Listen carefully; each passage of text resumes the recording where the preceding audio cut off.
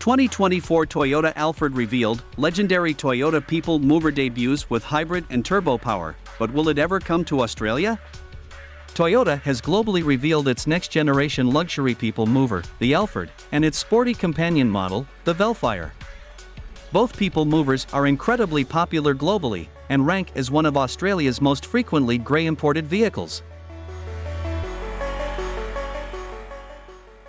Unlike the Toyota Australia-backed Granvia which is only available with a 2.8-litre turbo diesel engine sourced from the Hiace commercial van, the new generation Alphard is available with the choice of a 2.5-litre petrol engine, 134 kilowatts per 235 newton meters, or a 2.5-litre petrol hybrid, 184 kilowatts combined.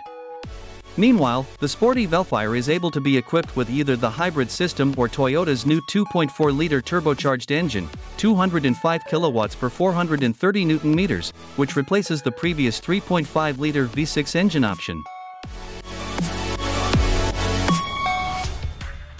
All versions are CVT driven apart from the 2.4-liter turbo Vellfire which uses an 8-speed torque converter, while all-wheel drive is also available across the range in its home market of Japan.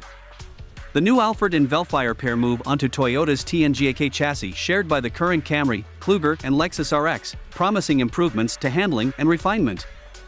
The new people movers also include extensive dampening to increase cabin ambience, and the suspension includes frequency responsive dampers to increase ride quality.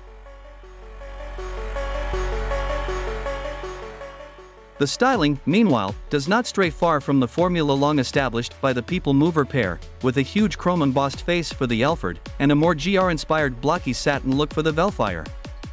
The interior inherits many components reserved for the Lexus mark in export markets, like the huge multimedia panel, digital instrument cluster, and digital shifter in high-grade examples.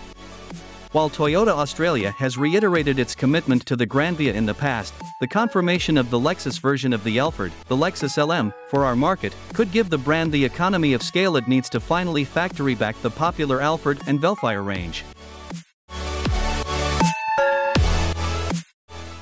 Toyota is always considering exciting new models as they become available for our market, but we have no announcements to make today.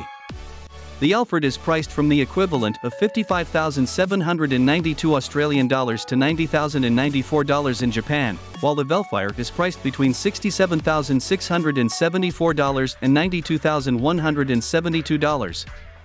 The Alphard is priced from the equivalent of 55,792 Australian dollars to $90,094 in Japan, while the Vellfire is priced between $67,674 and $92,172.